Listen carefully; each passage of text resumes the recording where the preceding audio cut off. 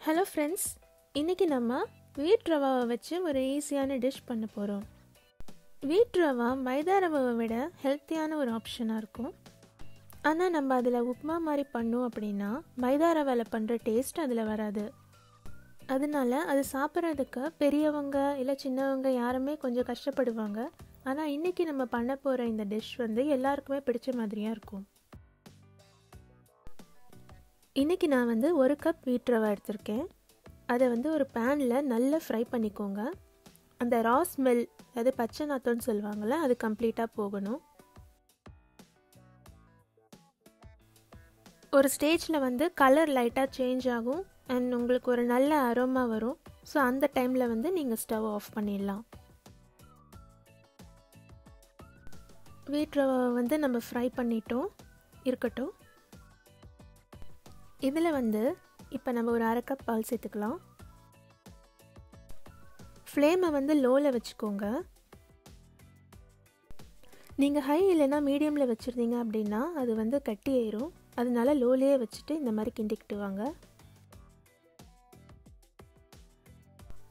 பால் உங்களுக்கு சேர்க்கணும் அப்படின்னா கொஞ்சம் கொஞ்சமாக சேர்த்துக்கிட்டே வாங்க. ஒரேடியாக சேர்க்கக்கூடாது. நீங்கள் தொடர்ந்து அப்படியே லோ ஃப்ளேமில் கிண்டிக்கிட்டே வந்தீங்கன்னா இந்த மாதிரி ஃபார்ம் ஆகும். ஸோ இப்போ நான் அடுத்து அரை கப் பால் சேர்க்குறேன். அதுக்கப்புறம் கூடவே ஒரு கப் அளவுக்கு சுகர் சேர்த்துக்கிறேன்.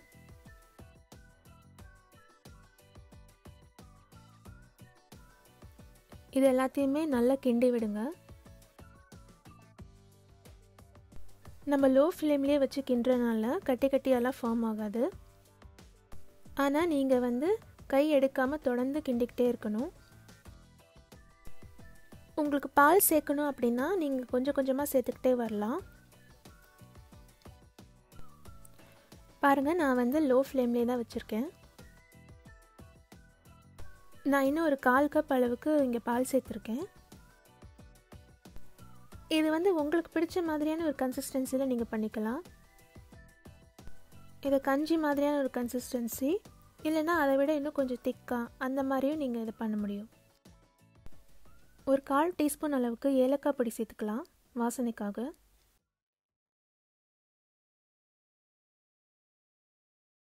ரவை வந்து நல்லா குக் ஆகி சாஃப்டாக வர வரைக்கும் இந்த மாதிரி பண்ணிக்கிட்டே வாங்க.